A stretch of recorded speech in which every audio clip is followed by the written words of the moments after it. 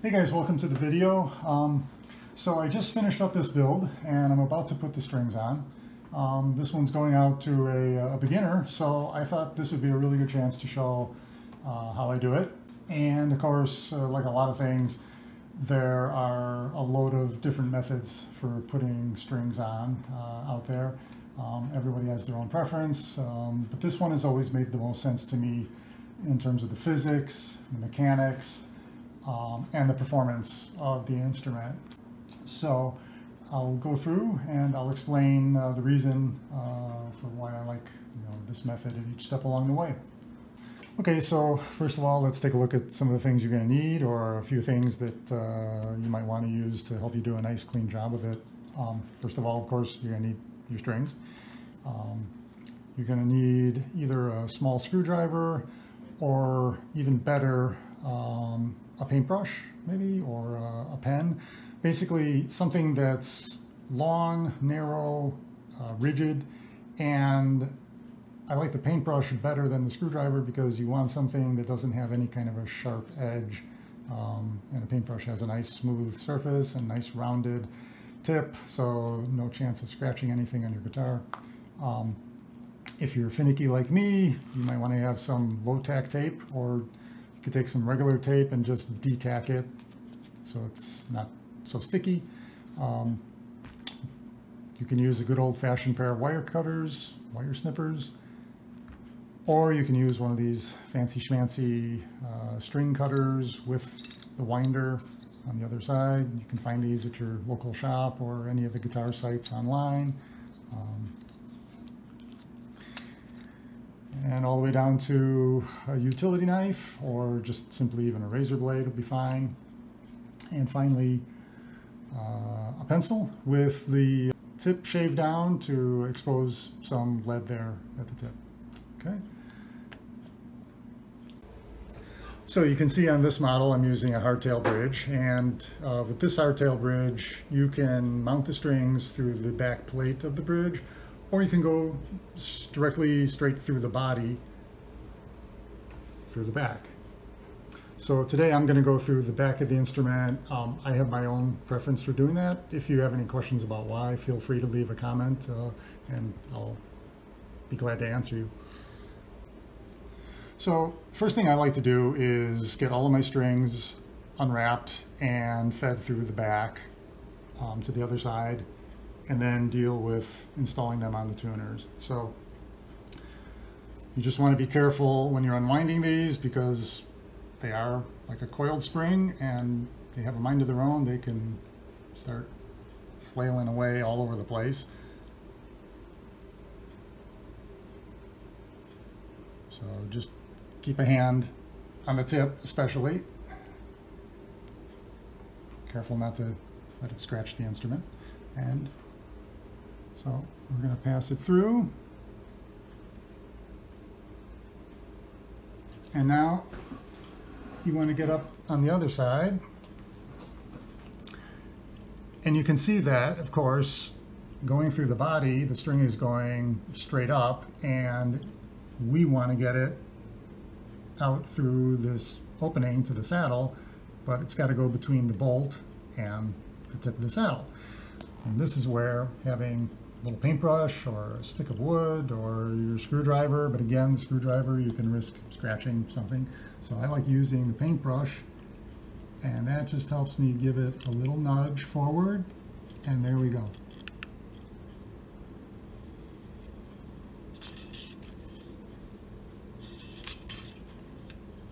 Okay, so you can see I've got all three strings fed through the back now, um, but when I turn it back over and I want to start installing my strings, there is the chance that the string might slip back through and of course that's going to be a pain if I've turned it over and I'm trying to work on the other end of the instrument. And this is where I like to have that piece of tape. And I like to use low-tack painter's tape or just de-tack the tape a little bit just so I don't risk marring the finish at all. Um, and just pop it over those three holes to make sure those strings can't slip back through again. Now I want to be careful when I turn the instrument over. I want to kind of just take the strings so that they're not going to go flying around and risk again scratching anything or anyone. And we'll just turn over and I'm just going to lay the strings off to the side of the instrument like that. So with my strings fed through the bridge, uh, you can see that I've gone ahead and I like to spread the strings out on either side of the neck where they're going to mount. Um, so I've got my treble string on this side. I want to get my middle string also on this side. And then my bass string is going to go up on the right side here. Um, and at this point, you can turn your attention to the headstock and the tuning posts. So it really helps to turn the tuning posts so that the holes are facing the nut. And that's just so that when you're routing the string through the hole, you've got a nice straight path without having to do any kind of weird bending to the side or kind of kinking the string, which can weaken the metal and risk a break later down the road. So first thing I like to do is start with my middle string. There's a couple of reasons for that. One is just a practical reason, and that is if I start with my middle string, I have nice open access to this tuning post and that hole without any obstructions on the sides, right? If I start with the side strings, um, the top or bottom strings, of course, then I've got to work inside those strings and it's just a little more constricting. So um, the other reason is I like to balance the tension of the string sets um, on all my guitars. So that means that the weight, the tension of the strings is as even as I can get it across the fretboard. Um, in this case, on this set, my two outer strings are nearly the exact same tension. The middle string is just a skosh higher tension string. So if I'm going to put tension on this neck for the first time, um, I'd like to start out with a little bit higher tension right down the middle to avoid uh, any kind of risk of torquing the neck a little bit to the side. So the first thing I'm going to do is just take the string and with light tension, I'm just going to draw it straight across the fingerboard directly up to the hole in the tuning post like this.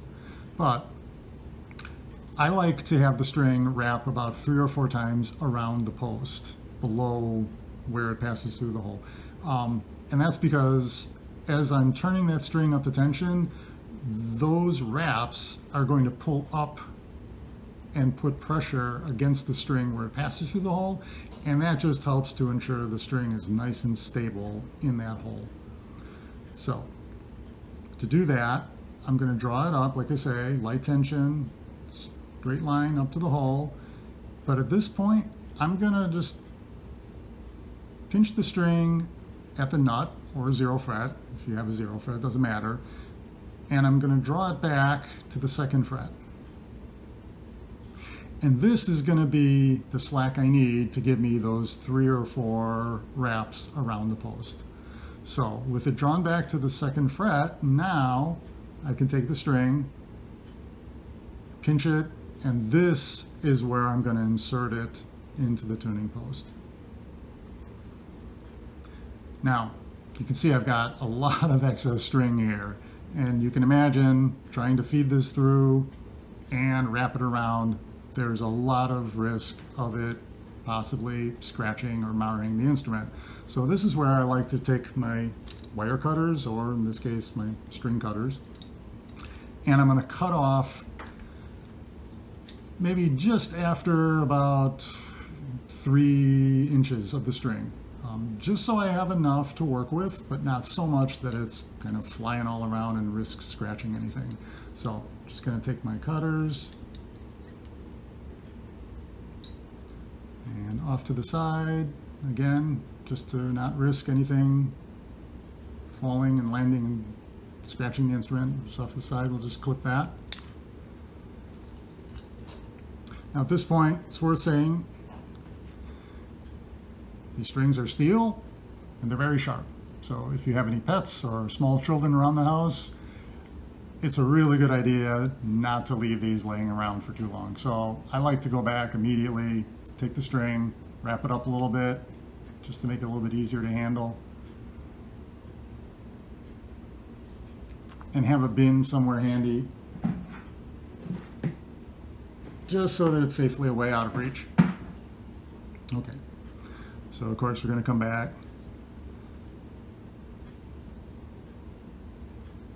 And we'll get that little bit of slack back again. Mark where it's going to go in.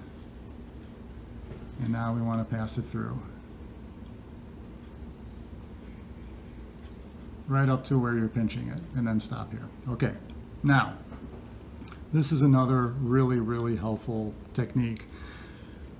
At this point, to keep the string from slipping back through the hole as you're trying to wind it with your other hand, it really helps to take the string where it's passed through the other side of the post.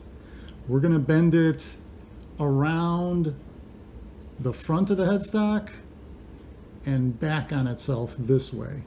So for these treble side strings, you want to go in towards the middle, right? This way.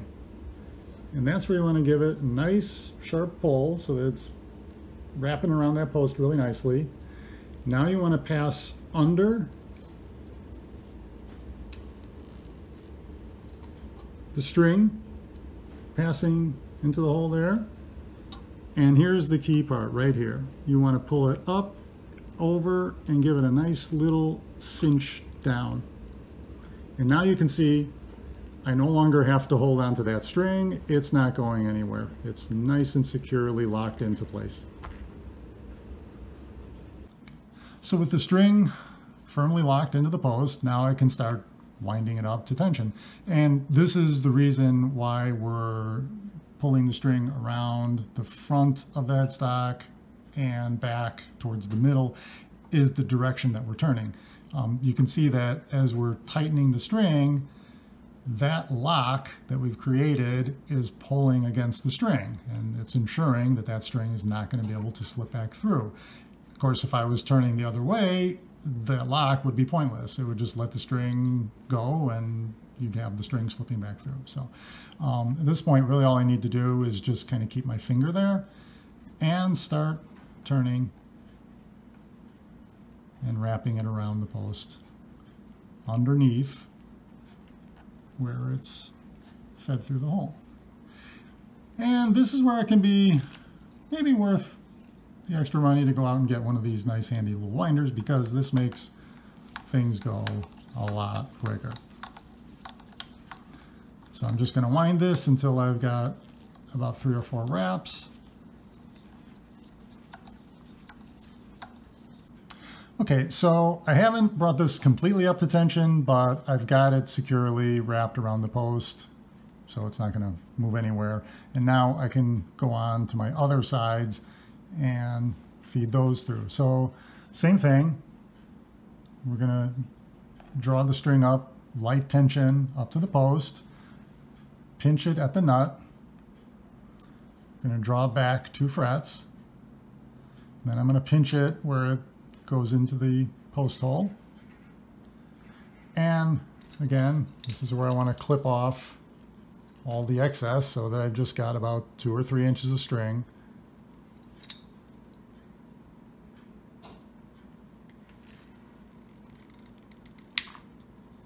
And again, we're going to securely dispatch this string so we don't risk any harm to anyone, man or beast.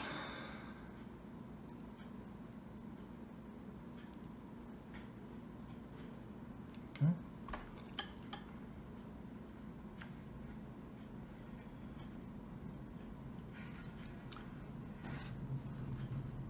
Now, of course, this time we're on the other side of the headstock, so that tuning key is going to be turning the other direction. So again, though, we want to bring the string around the front of the headstock towards the middle, underneath where the string enters the post, and then cinch it over the top to lock it, okay?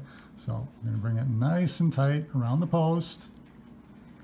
Heavier strings are a lot easier to do than the lighter strings. There's a lot more body of the string to hang on to. Um, so nice and snug. And then I'm gonna bring it over and cinch. And that's it. It's not going anywhere. So now again, I can come in with my winder, put a little pressure on the string there, and I can start winding and wrapping that string around the post and down. Okay, so with all three strings installed on the tuning posts, um, I'm ready to go and just clip off all this excess to finish it off. So at this point, I just want to make sure I'm kind of gently tugging down the string against those wraps, come in, and I'm going to leave about a quarter of an inch of uh, string there. Just again, so there's no chance of it possibly down the road flipping up and slipping back down through the winds, which would take tension off the string. So there we go. I just want to make sure to clip it um, short enough so that there's no chance it's going to scratch the, the, tuning post or the, the headstock and long enough so that there's no chance it's going to slip back through under the string. So just give it a nice little bend down there so it's always pointing down and I'll do these other two. Okay, and we'll come in and with this one. Give it a nice little tug down. And finally,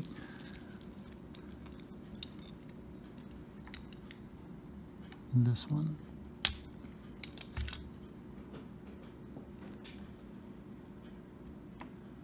Okay, so since this is the first time I'm putting strings on this instrument, you can see I've left the strings outside the slots. Um, and that's so that I can take my pencil and my utility knife, or again, a, a razor blade is fine. And I want to shave a little bit of graphite down into those slots. And that makes a really good long-lasting lubricant just to make sure that those strings slip easily through the slots and don't get hung up or stuck by any friction. So just take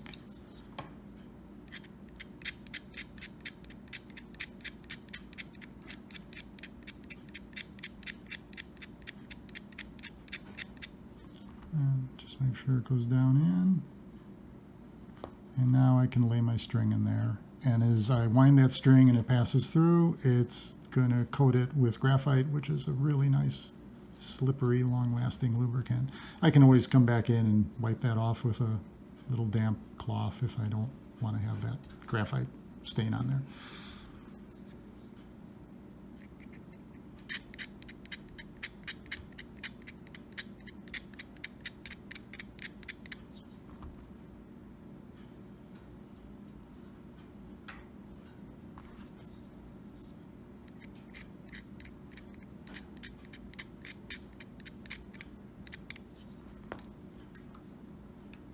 Of course, if the instrument has already had strings on it, then you really shouldn't have to do this again uh, unless for some reason you've cleaned it up so well that you've maybe cleaned all the graphite that somebody left behind the first time. Um, otherwise, the first time should be enough to go.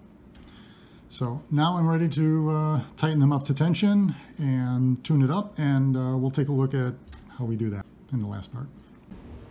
Okay, so you've got your brand new strings on, and of course you're going to want to tune up and get ready to play. So I've gone ahead, got my tuner on there, and I'm tuned up. In this case, I got GDG. Great, I'm ready to go. But if this isn't your first rodeo, you know that brand new strings stretch out. As soon as you put them on, they start to stretch out and loosen up. So if you start playing right away, it's going to go out of tune by the middle of your song. If you hang it up overnight, come back to it tomorrow, it's going to be completely loosened up and out of tune.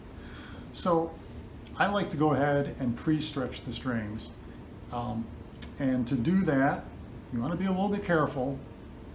So I'll bring it up to tune, GDG.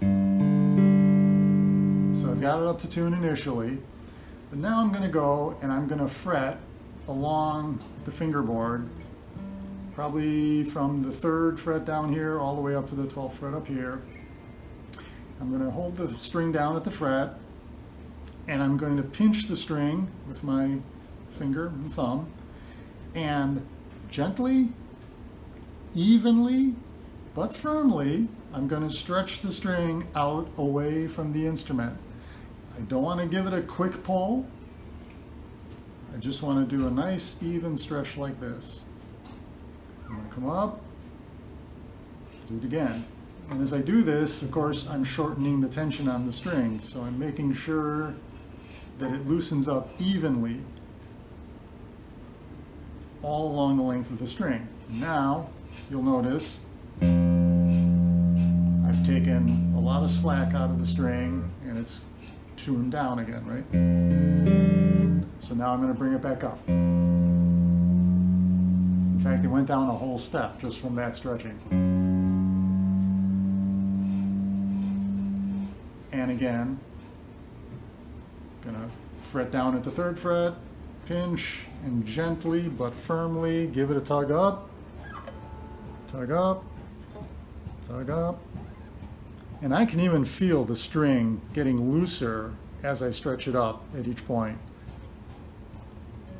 Want to be careful not, like I say, not to pull it up too quickly um, and not to bend the string. That's why it's better to pinch than to take and get under there. And that risks putting a bend in the string.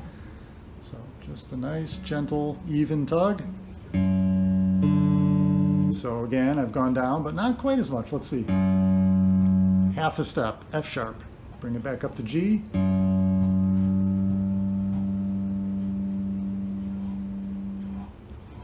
it again.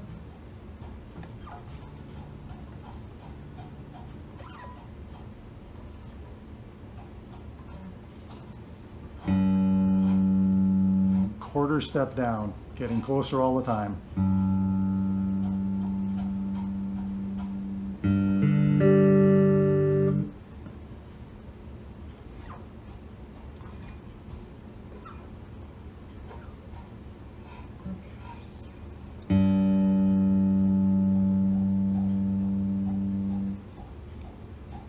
Should probably be about my last time to have to do it. So just about what, three, four, maybe five times. But you can see that every time the string is getting tighter and tighter. And there we go, stayed right on G. So now we'll move on to the middle string, our D string, and same thing. Start down at the third fret, pinch, nice even tug, gently up along the length of the string.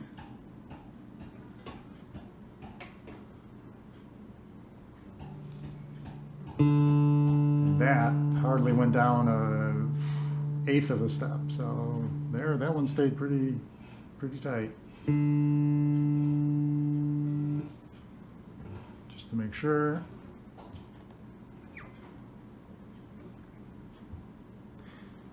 First time you do this can feel pretty scary, but after you do it a couple times, you build up some courage. Again, the key is gently, evenly. That stayed right on. And finally,